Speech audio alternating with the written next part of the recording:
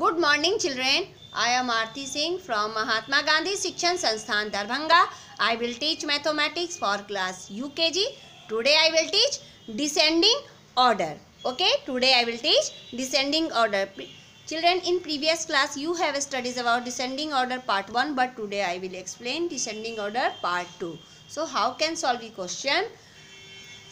Question number 1 16, 8, 20 and 5. First what is the descending order descending order means bigger to a smaller मतलब बढ़ते हुए क्रम से घटते हुए क्रम की तरफ़ लेकर जाना है okay so which is the bigger number sixteen eight twenty and five twenty is a bigger number in this row write down first twenty after twenty which is the smaller twenty से छोटा कौन सा number है इसमें? Sixteen write down sixteen After 16, which is the smaller? 8. And after 8, 5. Okay.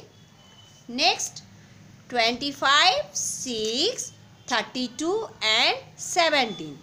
Which is the bigger number सबसे बड़ा number कौन सा इसमें थर्टी टू थर्टी टू के बाद थर्टी टू से छोटा नंबर कौन सा है इसमें twenty five six and seventy twenty five right down twenty five after twenty five seventeen after seventeen six यहाँ ध्यान से देखेंगे, सबसे पहले थर्टी टू बिगर नंबर है, इसके बाद थर्टी टू से छोटा जो नंबर आता है, उसको लिखेंगे।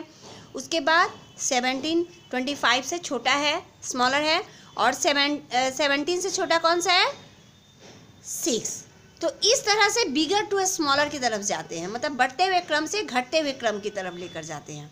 Next nineteen twenty thirty five two and twenty eight which is the bigger number thirty five right down first thirty five after thirty five which is the smaller thirty five से छोटा कौन सा है?